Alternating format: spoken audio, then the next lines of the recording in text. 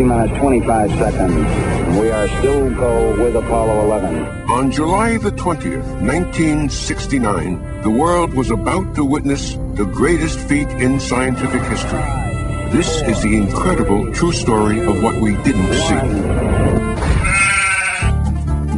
Parkes Australia had the only dish on Earth capable of broadcasting the moonwalk. Huh? The moonwalk. Oh. What's it doing in the middle of a sheep paddock?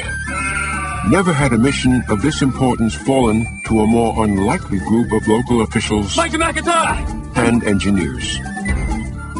With a few short hours to landing, We feel confident that we have the expertise to complete our role. the world riveted to their TVs and immortality within their grasp.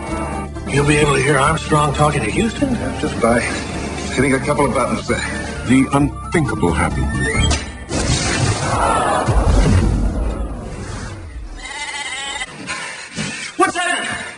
Without power, Control panel's dead. Sorry, folks. Have it fixed in a jiffy. without a signal, Let me get this straight. You've lost Apollo 11. without a clue. Sun's sweat of the moon. They did what many a seasoned broadcaster might have done I'll, I'll just have to re- reorient the. Uh... How's it going? They lied. Good.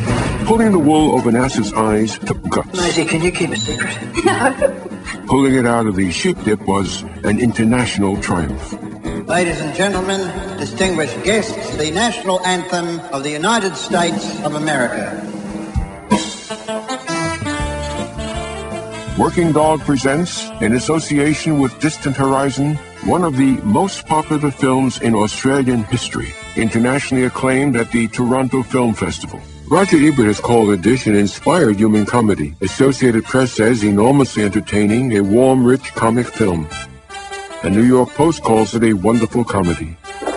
One small step for man, Oh, who goes there? one giant leap for mankind. The Dish.